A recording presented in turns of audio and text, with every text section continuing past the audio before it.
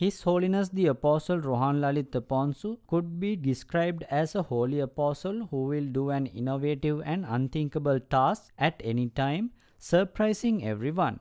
Few minutes after the dawn of the new year on 2018 January, His Holiness the Apostle did a wonderful thing. Devoted people from faraway places of the country, in spite of many obstacles and difficulties in traveling, came to Our Lady of Katunayake Shrine on 2017 December 31st night to receive blessings from His Holiness the Apostle Rohan Lalith Aponso and commence the new with the loving care of beloved Lord Jesus Christ and under the safety umbrella of our beloved Blessed Mother Mary. After the midnight Holy Mass of the New devotees expected that His Holiness the Apostle Rohan Lalith Aponso will come to wish them for the New. It materialized as the way people thought. He did come to greet the devotees.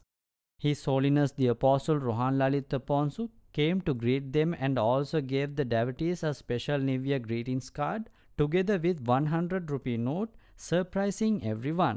No one knew at that moment His Holiness the Apostle Rohan Lalith Aponso will do such a novel thing. His Holiness the Apostle Rohan Lalith Aponso who always come to the help of the people when they have lost hope, is doing unexpected, astonishing things at unanticipated times, making people happy and bringing a smile to their faces.